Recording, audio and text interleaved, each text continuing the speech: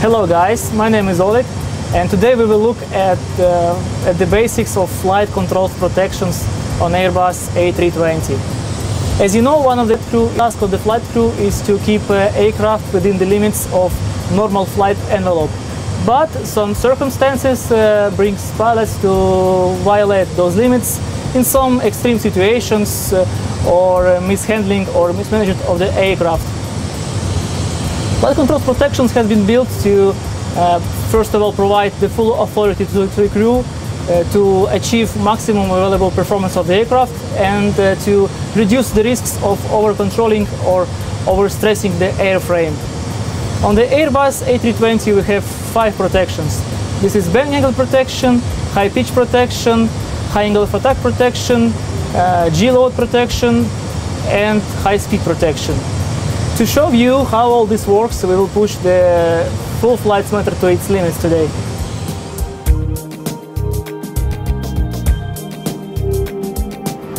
Before we start, I should advise you, do not try to do this at home at your A320. Of course, if you have one. Now we are approaching Madeira Airport. Aircraft is in landing configuration, uh, flaps full, spoilers armed, uh, thrust levers almost at idle, and let's see what happens. 1000.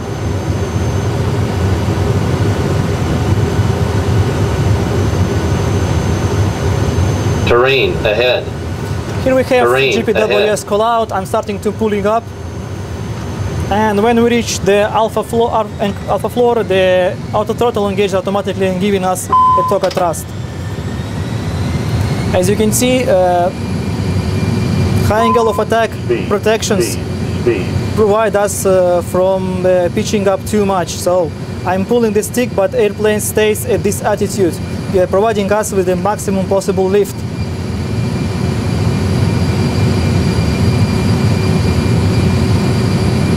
Basically, that's how protections acts in case of terrain proximity. The same sequence will appear in case of wind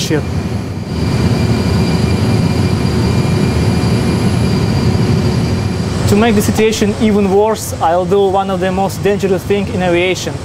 I will uh, put thrust levers at idle and uh, pull up and to the left. Usually it uh, will cause airplane to stall, uh, lead to spin or even uh, to spiral dive. Once again, don't do this on real plane. Okay, now we're in cruise at 10,000 feet. I'm switching off the autopilot, auto thrust, put the thrust levers to idle. And now I'm pulling the stick up. Airplane starts to pitching up. Speed is decreasing and then to the left.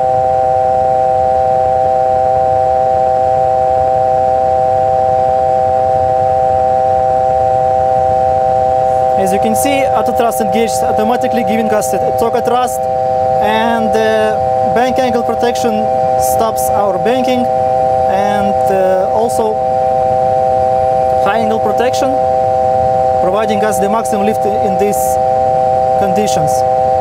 As you can see, nothing happens. Airplane continue to fly, despite the fact that I'm still pulling the, the stick. As you can see, due to flight controls protection, it is almost impossible to exceed the limits of normal flight envelope on all operational A320. Share your opinion, uh, what do you think about these protections in, in comments and see you next videos.